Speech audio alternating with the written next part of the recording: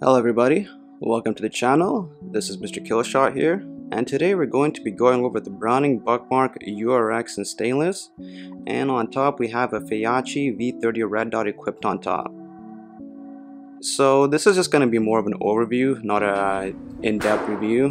So on this channel for items that have been reviewed plenty of times in the past on YouTube, I'm just going to be giving a brief overview. If you want to know how to take it down or the trigger pull or anything like that, there's plenty of other reviews on YouTube that can give you that kind of information. I'm just going to be giving you a rundown of these two specific items here and uh, how they've held up for me throughout my time with them. So this was the very first firearm I ever got. So me personally, I got into firearms from a prepping standpoint. And in my opinion, the very first uh, firearm you should buy in that regard would be a 22 pistol. A 22 LR because it needs minimal skill for you to use and maneuver. Ammo is cheap so you can have plenty of ammo right away. And in the pistol format for concealment. So that is why I got this firearm. So this is one of Feyachi's higher end red dots. It's uh, been reviewed very thoroughly. It's held up very very well. Uh, it comes with a honeycomb um, flash hider as well. That's one thing I really liked about it. I believe this is supposed to have an auto on feature, but to be honest with me, it's never worked. So that's the only downfall I can say about this optic. Uh, the battery compartment there, battery compartment there is very good, very easy. So this battery actually went on me in the range, so I'm just gonna change it. I thought I'd just do it on video just to show you guys how easy it is. So you pop the battery out just like so, or maybe it's not that easy.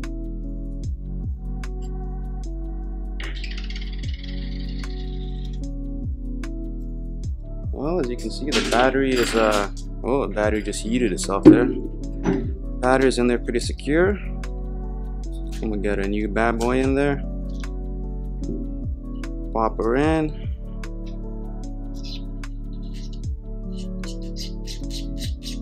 Screw her down. And she should be good to go. Let's take a look.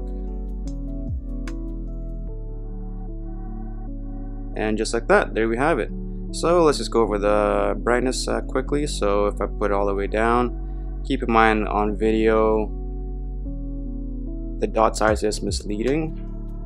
So here I'm pushing it up. Sorry let me push it down. So that's the max. So as we go down so the dot is actually uh, it looks uh, the same size but more faded on video but in real life it is a bit smaller it's a bit it's not a perfect circle I'm looking in here it's kind of like a blob so it's not like the best red dot you'll ever find but it is a dot and it shows you where you need to aim to hit your target and that's good enough for me this red dot has held up very well. I've had it for about four months. I've had one battery in there the whole time and it's worked very good. I can't say enough good things about this red dot. Uh, it's a 22 pistol so holding zero is not something uh, you'll need to worry about but I believe it's been reviewed on higher calibers and it holds zero very well. It comes with a raised, uh, raised mount right here so you can still use your iron sights as you can see there. And it comes with these little tabs here so it's very easy for adjustments. If you take it out or unscrew it you can see here you can just easily position it. And then you can turn left and right up and down and your adjustments are very easy. So as far as this optic goes it's been a great optic I'd recommend it like I said, the auto on and off feature I think is included, but it did not work on this.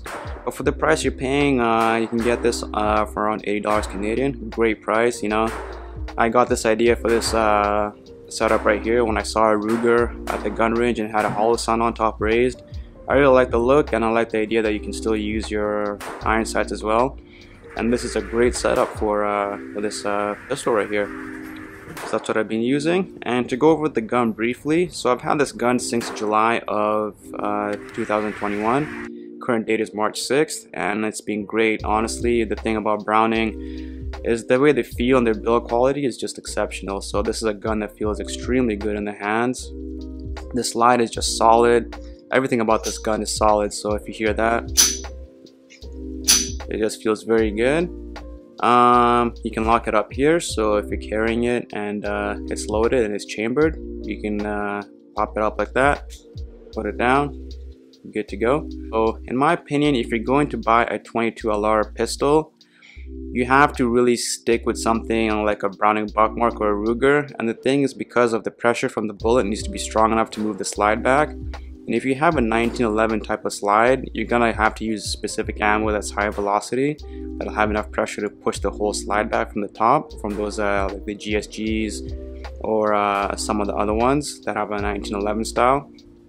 So if you want reliability and the luxury to use different types of ammo and standard velocity ammo you're really gonna be having to go with either this, uh, a Ruger, a Ruger um, Mark IV, Mark III, or anything of that side, anything of that type, or a revolver. So I did have a 22 revolver, but I, I didn't like the sights on it. They were just uh, not very good, so I ended up selling it. But for a 22 pistol, you know, I think this or Ruger is really your best option. And if you go with the URX, you get the full top rail there, so you have a ton of real estate. And to me, this was honestly the best option. The Ruger definitely wins in terms of customization, but I've actually researched this uh, uh, aftermarket grips, and that's one thing I think I will change is uh, get some grips on here. But as soon as you do that, you know it's all good. Um, the iron sights here, I've never changed them, never adjust them but they uh, appear to hit very well. But the thing with 22 LR is very ammo sensitive so different types of ammo will hit differently. But the iron sights work very good they're adjustable. Uh, the front one here is uh, very good as well. It's very easy to see the side picture and yeah I can't say enough good things about this gun so uh, the mag release is also very simple and easy to use just pop that it drops off very smooth so like I said, Browning is just quality, you know, and that's why I really like uh, this farm right here. And uh, in terms of reliability, so when you use this gun, you can go about like 200 to 500 rounds without cleaning it. But when you do go a long time without cleaning it, you will start having uh, cycling issues. So this slide, it will, it will not, um, it'll fire, but the bullet might not eject all the way. And I found what you want to do is this part right here if I can focus it. It likes to get gunked up this little feed ramp. So if uh, it gets too gunked up that's what causes feeding and cycling issues but this gun you know it, it uh, eats everything it shoots everything and it's extremely reliable so one more time this part right here it gets gunked up but if that's not gunked up uh, you're good to go you know uh, the slide is very easy to pull back. It isn't uh, got some grooves in there, so you pull that back. Very very easy. And that's pretty much all I can say about this gun. So very very good gun, and uh, I like it a lot. And optic is great. Optic is very very good on there. And yeah, that's pretty much it. So what I wanted to do with this video is just kind of give you guys a brief overview and also give you an idea of uh, what kind of ammo works with this gun and what kind of ammo doesn't and I did some shooting at my one of my ranges and the groups are going to be at 17 yards with uh, various types of ammo as you see here so let's get into the results okay so let's talk about the ammo. So this gun is uh, cycled every single ammo I've ever bought for it one exception being SK Standard Plus which is SK the yellow box. Um, that gun would not eject the bullet so every time I fired I'd have to manually take the slide and pull it out to eject the bullets. I'm not too sure why uh, I believe the velocity is the same around a thousand feet per second there but it just did not want to eject with this gun so when you're buying premium 22 LR ammo what's the difference um, the difference is usually I find is in uh, consistency so I believe these brands spend a lot of time uh, with QC control and making sure that everything is the exact same spec, powder to how it's put together, to the materials, and I believe that's really just the biggest difference is uh, QC control. Uh, so if you look at the more expensive bullets, so here we have the Eley Contact. Uh, a lot of the SKs and Elites, they do have a wax coating to help with feeding. So if I kind of scratch this a little bit, uh, you'll see a little bit of the wax coating. This one doesn't have too much. And then the other thing also to notice just by handling these is when you turn them, uh, they're very secure, they don't move around, and that's what I'm talking about when I say quality control. And then you have the cheapest one, which is this one right here, and this is a Winchester bulk pack, so it's 333 or 555. You notice if I go like this, you can turn it, so it's not uh, very secure in there. And also when I buy this pack there's usually about two or three that are literally just empty like the shell will be there the case will be there with no bullet or no powder so that's what that's what I mean by quality control. Uh, this is a hollow point one and um, if you take a look at like a mid-range like let's say the blazer so here we have a blazer and then once again this one is secure, but some of the blazers you get, uh, you'll be able to turn them as well. That's not to say that the Eley or the other ones you won't be able to turn. Uh, they still will turn once in a while, but I found just from uh, inspection throughout my time handling these bullets, they are very secure and uh, they're all built to the same spec. Uh, I try to include a different uh, range of bullets and see what kind of works best in my gun. But to be honest, you at the end of the day, you know, you don't need to buy any more expensive stuff. If you just stick with Blazer or you know any anything basic, you will uh, most of the time have no issues at all. And uh, this is just for people that are, let's say you have a rifle that likes a specific kind of SK or kind of Eley, or you are a competition shooter and you already have one of these ammos, and maybe you wanna combine or buy one of these uh, SKs or something bulk, and you want to see if you can uh, make it work with your pistol as well, I just decided I should do an overview and uh, show you what's worked best with a gun in my opinion. So yeah, that's the these are the different ammo types I've tried. I did try more in the past, but I um, I ran out of them, so this is just what I had left. And uh, let's go over the results.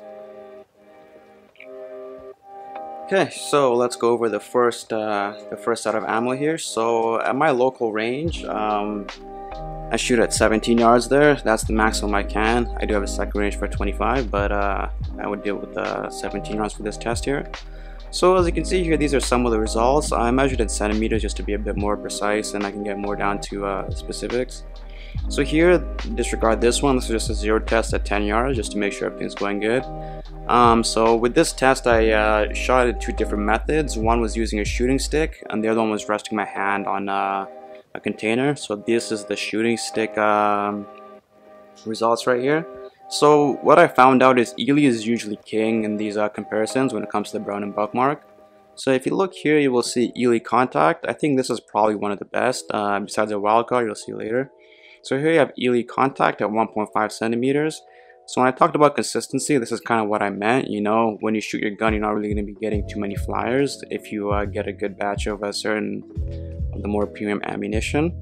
Uh, the Aguila, so uh, there's some standard velocity and there's uh, the high velocity one. So standard velocity is usually around a thousand feet per second.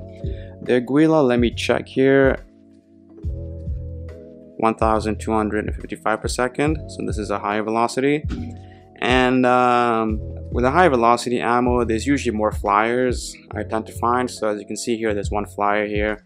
Uh, with the Aguila, you use a 4 centimeter in total. You take out the flyer, 2.3. This was the Eley Force. Eley Force is also high velocity, but it's very consistent. So if you have a rifle or other guns and that you like uh, high velocity some of your other pistols and you're considering buying the Buckmark, Eley Force is probably the best premium high velocity ammo that you can go for. SK Flatnose also shoots very good out of the Browning Buckmark. So this here with the little flyer there is 3.3 centimeters. Uh, this shoots very good out of the Buckmark and other groups have tried in the past.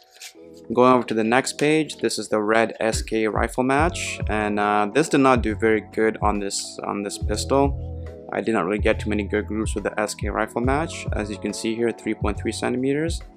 Blazer outperformed it at 2.6, and so I, I, did all this with the shooting sticks, but just to get you a rough idea with uh, without a shooting stick, because most people, you know, we're not going to be shooting uh, the pistol shooting sticks too often. So as you can see, without a shooting stick, the group opens up quite a bit with a blazer ammunition.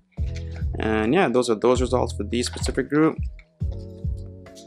So the wild card here was the Winchester cheap ammo. So for some reason, it shot very, very good here. So pretty much touching all the bullet holes. I mean, all the holes are, are touching. These are one inch squares for reference. And uh, yeah, just without this one one off to the side here, this is probably the best group out of the bunch. I would uh, I would think. Uh, mini mag is always a great great option. Uh, you can't go wrong with mini mag. 1.9 centimeters, very good group. This is the S&B ammunition. So I never seen this ammunition until very recently. And that is this box right here. This is just a standard velocity. Uh, this is uh, I'm not I only shot this literally only these five shots here, so I'm not too experienced with this um with this uh, cartridge here, but it's a very nice, well uh, well built bullet. You know, they even have the stamp on the bottom there. Very nice bullet. I believe it does have a wax coating on there, so you can see the wax coating. Uh, it's very well built, very well put together. Didn't really have the best results on the Buckmark, but uh, I'll be trying this in the, some of my rifles and seeing how that works out. But that's the S&B. Uh, it's a bit more expensive than Blazer, less expensive than Eley and SK. Interesting option to try out. I would recommend getting a box. Standard velocity once again. And then we have the Eley Action. This is a really, really good um, option for majority of pistols and rifles I would say uh, 2.5 centimeters so not the best of the best but it's a very consistent uh, batch of Eley. a very consistent batch of Eley. I'd recommend Eley Action and it's also the cheapest it's a bit cheaper than Force so standard velocity Eley Action is one of my best ones one of my favorite ones and then here we have CCI standard. So this was a flyer. The guy beside me was shooting a shotgun. I flinched. And then uh, these were the other two groups. I mean the other four four bullets. So I made sure to redo that one just to be fair. And you got 2.5 centimeters. So if you're thinking about buying the Browning Buckmark and uh, you want to just hit the ground running those are the results for the different types of ammunition. If you already have a rifle with one of these ammunitions uh, you can be guaranteed that they will cycle well on the Browning Buckmark and uh, you can feel free to buy them in bulk if you see a good deal or anything like that. And that'll pretty much wrap the video up guys, so once again, I really love this pistol, you know, I honestly have a personal attachment to this pistol. First firearm I ever got, I've shot it much more than any other pistol that I own, any other firearm that I own, and it's just beautiful, you know, the gold trigger kind of sets it apart, you don't see that too often. Uh, it feels good in the hand, it feels good holding it, it feels good shooting it uh, very solid. The build quality is just great phenomenal. Listen to that. Very good. So even after shooting I would say about uh, two to three hundred rounds uh, this part right here it's not even really gunked up too much so it gets really gunked up sometimes. But even after a couple hundred rounds I would say I'd say maybe 200 rounds it's not too gunked up. On the other side here you can see the firing pin. This also gets gunked up here it's not bad at all so I probably should have wanted the 2 to 300 rounds and then clean it up a little bit. Uh, when I clean my guns, I always clean them uh, with Hoppe's cleaning solution. And then after that, I just put some oil. So when I oil this gun, I just kind of put a little bit, I use a Q-tip when I oil my guns, put some oil on the Q-tip. And then just kind of run it over here, inside here, a little bit of oil inside here, and then just on the slides a little bit, um, but you don't want to overdo it. There's also this little rod in there that I like to oil as well and yeah that's pretty much it. This gun is very easy to clean. I have never taken it apart because Browning recommends that you do not take it apart so I've never had a reason to do so. Uh, it's kind of a tedious process to take it apart so I've never done so but yeah that's pretty much it guys. Thanks for watching and I'll be signing out